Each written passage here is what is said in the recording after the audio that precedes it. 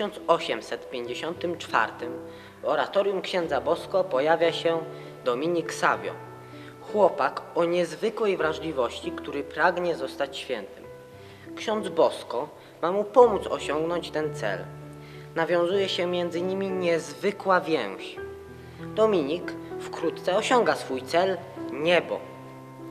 Jednak troska o kolegów z oratorium sprawia, że Dominik przychodzi z zaświatów, aby opowiedzieć księdzu Bosko o pięknie nieba i przynaglić wszystkich do większej gorliwości o ten cel.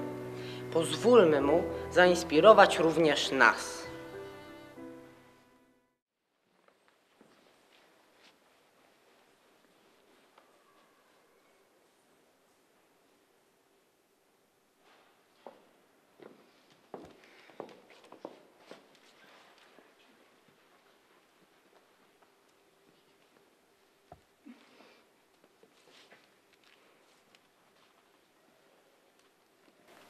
Janku, zobacz, przyszedł jakiś nowy chłopiec.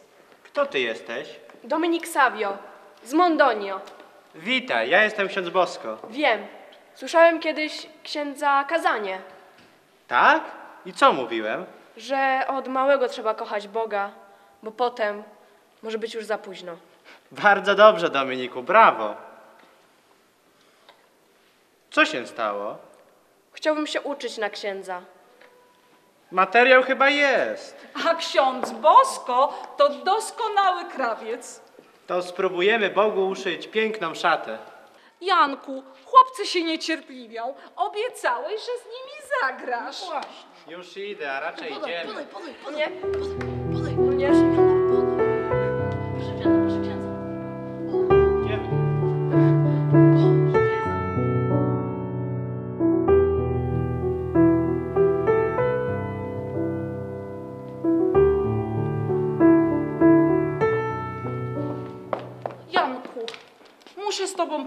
O Dominiku. Tak? Strasznie się martwię o tego chłopaka. Jest taki blady i chudziutki. Ciągle tylko pości i pokutuje. Godzinami modli się na kolanach i jeszcze oddaje chłopcom ostatnią kromkę chleba. Jest taki dobry. Wszyscy chłopcy lgną do niego. On chętnie służy im radą, a jak broją, to nawet ich napomina i zachęca do spowiedzi. Jak mu przygroziłam palcem, że te posty to za dużo na niego, odpowiedział, że potrzeba wiele jego cierpień, aby odciągnąć chłopców od zła i przybliżyć do Boga. Mówię ci, synu, ten chłopak już jest święty. Powiedział, że wolałby umrzeć niż zgrzeszyć. Ale proszę cię, Janku, porozmawiaj z nim. Dobrze, spróbuję.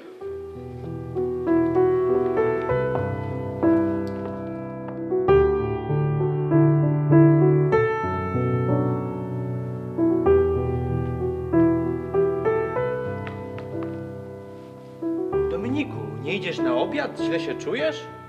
Poszczę w ramach pokuty. Pomoże mi ksiądz? Pomogę? W czym?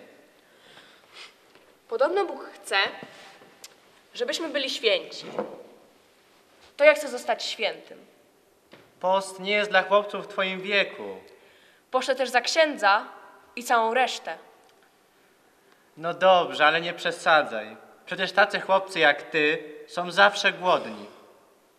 Posłuchaj. U nas być świętym znaczy być radosnym. Tam, gdzie są twoi bracia, twoje sny, obowiązki. Właśnie tam spotykasz się z Jezusem Chrystusem. Możesz być świętym we wszystkim, co robisz, jeśli robisz to z sercem. A serce masz wielkie. Tak, proszę księdza. Teraz rozumiem. No dobrze, to chodźmy teraz coś zjeść.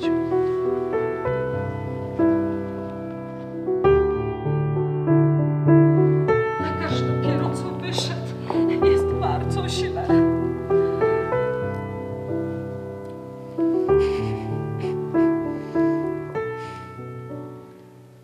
Proszę księdza, to już? Nie, nie. Niech ksiądz będzie przy mnie jestem. Jeżeli moje drżące ręce nie będą w stanie utrzymać Twojego krzyża, Jezu, zmiłuj się nade mną. Gdy stanie przed Tobą moja dusza, weź mnie, Ojcze, w swoje ramiona. Mamo Małgorzato, czy będę widział stamtąd moich przyjaciół? Oczywiście, Dominiku, oczywiście. Jak pięknie. Widzę światło.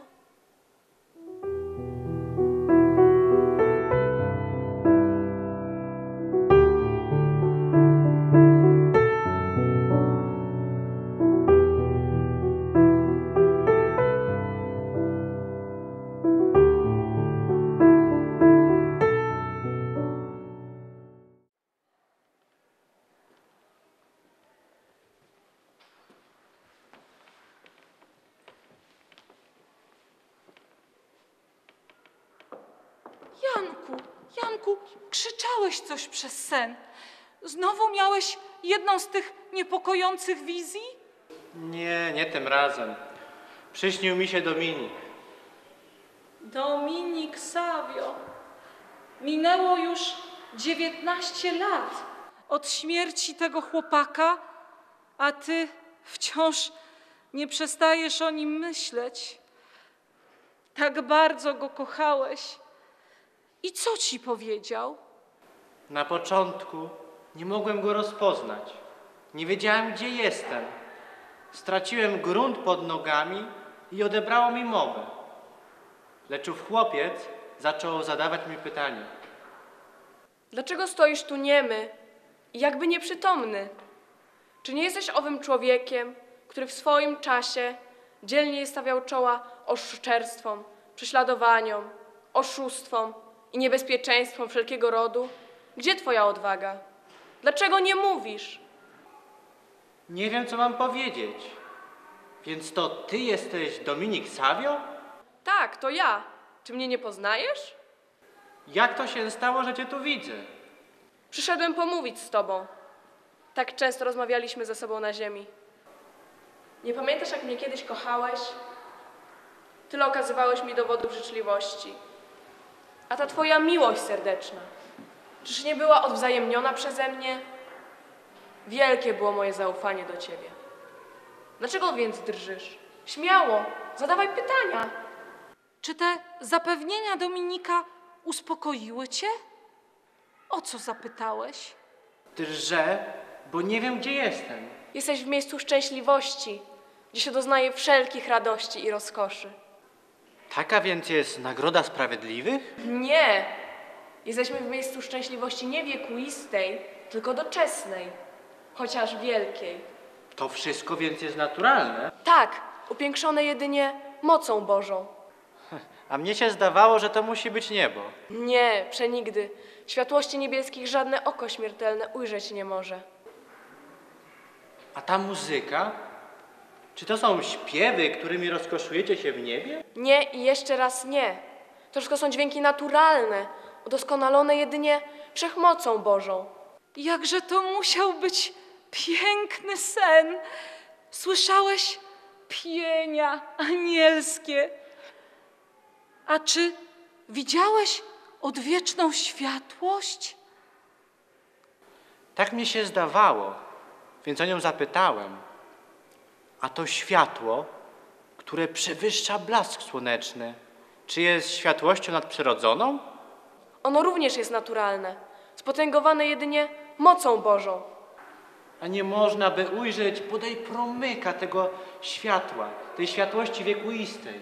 Nie może jej ujrzeć nikt, kto nie dostąpił oglądania Boga twarzą w twarz. Najmniejszy promyk tego światła zabiłby człowieka. Czy jest światło naturalne piękniejsze jeszcze od tego? O, gdybyś wiedział, odrobina więcej błysku mogłaby cię porazić. Czy nie można by zobaczyć chociaż promyka tego światła, o którym mówisz? Owszem, można. Zaraz będziesz miał tego dowód. Spójrz tam, w głąb morza z kryształu. Spojrzałem w górę i w tym momencie w niezmiernej oddali zabłysła smuga światła, cieniuteńka jak nić, lecz tak olśniewająca i przenikliwa, że oczy moje nie były w stanie tego znieść. Zamknąłem je i zakrzyknąłem głośno. Ta smuga była sto milionów jaśniejsza od słońca i zdołałaby oświetlić cały wszechświat. Gdy oprzytomniałem, Dominik dodał. Chociażby morze blasku, widziano go i tam w głębi, oblało cały świat.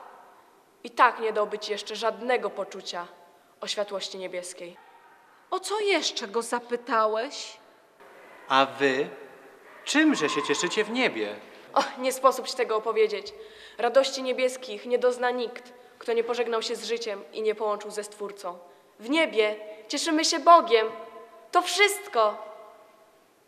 Ochłonąwszy już zupełnie z lęku, wpatrywałem się z zachwytem w piękność Dominika Savio, po czym zapytałem go, powiedz mi, dlaczego masz tak białą i lśniącą szatę, a na biodrach ten czerwony pas? Odpowiedział? Nie. I gdy zdawało się, że nie udzieli już odpowiedzi, chóry anielskie podjęły na nowo tę starą pieśń, którą śpiewałaś kiedyś o baranku. Mieli oni biodra przepasane i wybielili szaty swoje we krwi baranka, bo zachowali dla niego dziewictwo swoje i chodzą za barankiem, gdziekolwiek idzie. Pas czerwony koloru krwi jest symbolem niezwykłych ofiar, niezmiernych wysiłków i niemalże męczeństwa poniesionego dla zachowania cnoty czystości. Aby zachować się czystym w oczach Bożych, trzeba być gotowym nawet życie oddać, gdyby okoliczności tego zażądały.